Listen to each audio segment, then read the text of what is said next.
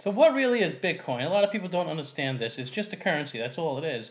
Just like the U.S. dollar is a currency, just like a euro is a currency, a Japanese yen is a currency. So you use Bitcoin or you use U.S. dollar to buy things, and when you sell things, you may receive Bitcoin, you may receive U.S. dollar. That's all it is. The only difference is um, U.S. dollar is controlled by the U.S. government, where Bitcoin is kind of controlled by the cloud but um, not exactly. But if you want to read more about that, you can.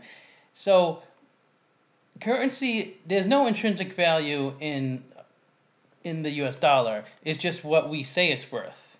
Like you can't use the U.S. dollar to to to build something. You can't use the actual physical dollars to do anything with. Where maybe something like gold has intrinsic value. Uh, it's used in jewelry. It's also used in like maybe piping or whatever it might be used in. There's value in that. There's no value in a currency. Um, any day, uh, the currency a currency in a country could be worthless. It just depends on how the valuation of that currency. So you can buy Bitcoin as an investment you can also buy U.S. dollars as an investment, um, but generally, currency is generally not used as an investment.